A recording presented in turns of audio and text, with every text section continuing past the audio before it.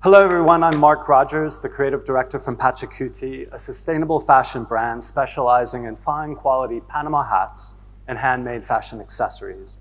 Based in the UK, we have a global supply chain working with skilled artisans from Ecuador and Mexico. As a sustainable brand, we exist in a niche market within the fashion ecosystem, serving a discerning clientele looking for something more authentic instead of mass market retailers. These large companies may fulfill an insatiable consumer demand, but their business models engender a throwaway culture devaluing how clothing is created and perceived. As a mission-driven business, Pachacuti aims to create an alternative model that counters these marketing giants. We stand for the antithesis of fast fashion, championing a slow fashion ethos that respects worker dignity through fair trade and preserving traditional skills. When it comes to raw materials, we source our Panama hat fibers from biodiverse, community-owned land. We endeavor to make products that our customers love for their authenticity, skillful craftsmanship, and quality materials, whilst producing designs of enduring style. And by taking a holistic and systems view of our business, we see the important part we play in sustaining a web of tangible and intangible values that extend beyond the financial to serve the benefit of our planet and the society we wish to create. You see the expertise required to produce a cultural artifact such as one of our Panama hats is under constant threat. Yet if these artisanal skills vanish, so does the weaver's way of life and the craft's social value. That's why the Panama, or to give it its correct name, the Ecuadorian Toquilla straw hat, was inscribed in 2012 on UNESCO's Register of Intangible Cultural Heritage of Humanity. In doing so, UNESCO recognized that the tangible cultural heritage transmitted from generation to generation is constantly recreated by communities and groups according to their environment, their interaction with nature, and their history, providing them with a sense of identity and continuity, and thus helping to promote respect for cultural diversity and human creativity. First, it was colonialism that disrupted the cultural weaving traditions of Ecuador, and now it's globalization and its forces of supply and demand that encourage shoppers to consume quantity over quality.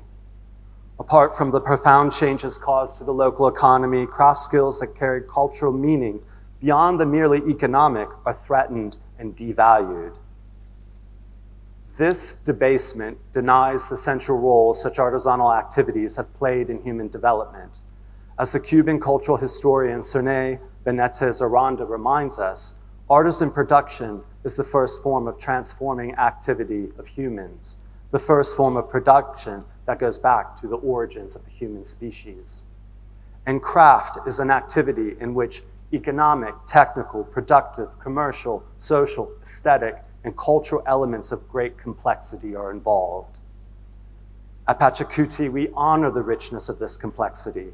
We understand the intangible treasures of artisanal skills form a reservoir of precious knowledge and are essential carriers of cultural values between generations.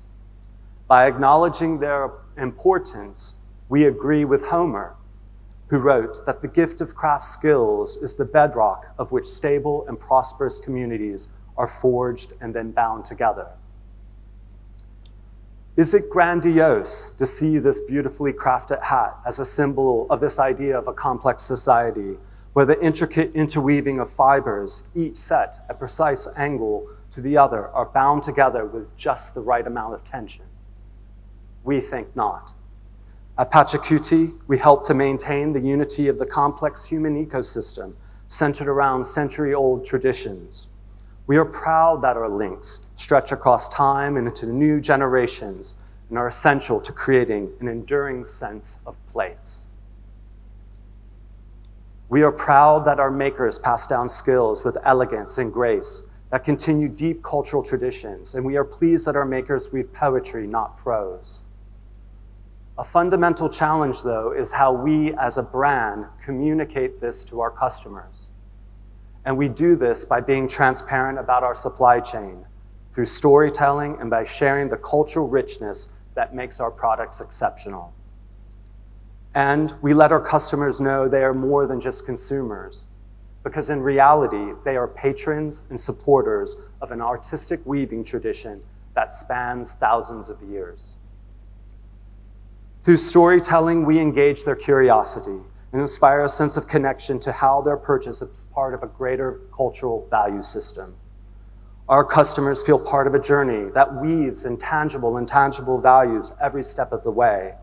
Through sharing the intimate details of the weaving craft and use of sustainable materials, we help them become textile connoisseurs.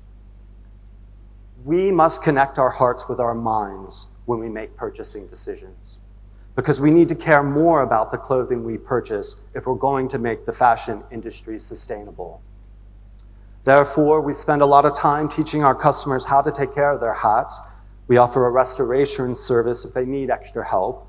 And we do this because we want them to look after our purchases properly, rather than treating them as disposable commodities.